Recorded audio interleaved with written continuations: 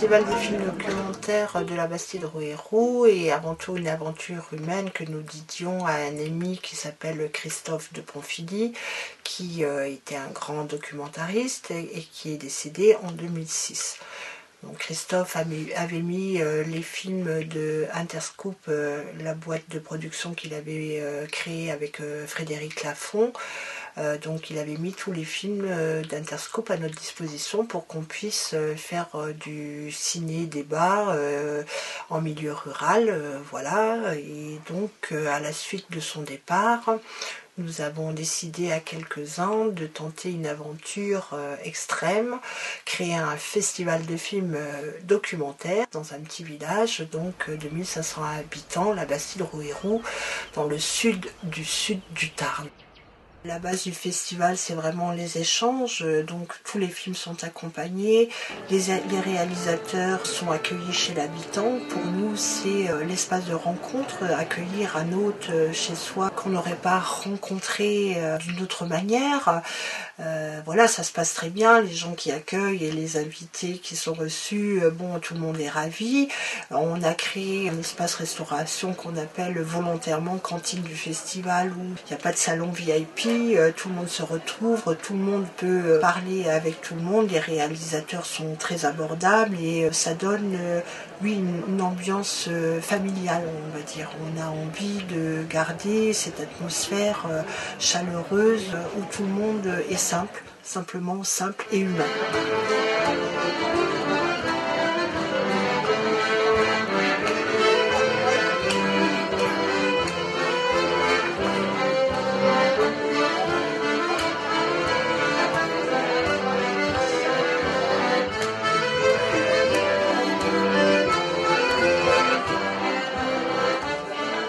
Euh, par différentes entrées, donc euh, d'amener euh, les gens à réfléchir. Donc il y a les films documentaires, il y a une expo où on montre en général un photographe ou un photographe reporter donc qui vient présenter son travail.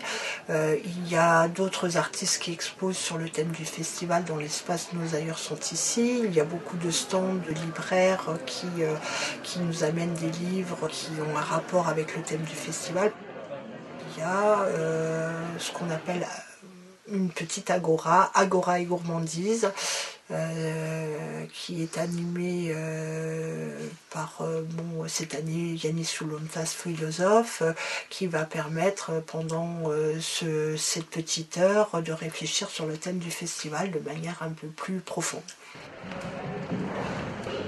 on y vient doucement à la question de savoir si, euh, en organisant le pouvoir, en partageant le pouvoir, sous forme de délégation, finalement, on ne perd pas ce pouvoir.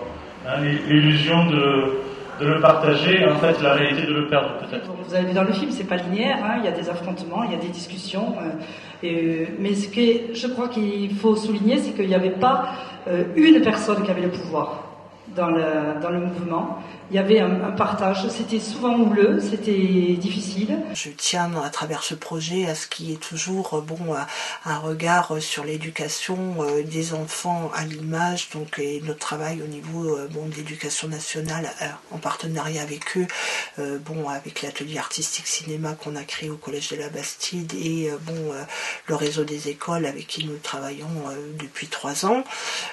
voilà, ça me semble important pour que on arrive à faire de, des enfants des citoyens qui ont une pensée qui est libre et qui réfléchissent en connaissance de cause. Ce qu'on nous a dit quand même, c'était euh, ça nous intéresse vachement ce que vous faites sur l'histoire des États-Unis, mais si vous pouviez enlever le vieux là qui parle, le vieux marxiste qui parle au milieu, ça serait, ça serait mieux. À la fin, Howard disait Je veux qu'on se souvienne de moi comme quelqu'un qui a donné aux gens des sentiments d'espoir et de pouvoir qu'il n'avait pas avant. Voilà exactement ce qui nous a donné envie de réaliser ce film. Pour pérenniser ce projet et aller de l'avant, il faut vraiment qu'on arrive à débloquer d'autres moyens financiers beaucoup plus importants que ceux que nous avons à l'heure actuelle, c'est certain quoi on reste quand même sur des très très petits budgets et beaucoup de volonté euh, bon, humaine. C'est pour ça que ce festival bon, résiste malgré tout autant. Donc 5 ans euh, sur ce territoire, euh, c'est un beau parcours. mais il faut pouvoir continuer. Et aller de l'avant, ça veut dire trouver d'autres sources de financement ou bon, voilà, avoir des soutiens plus importants de, nos financeurs actuels.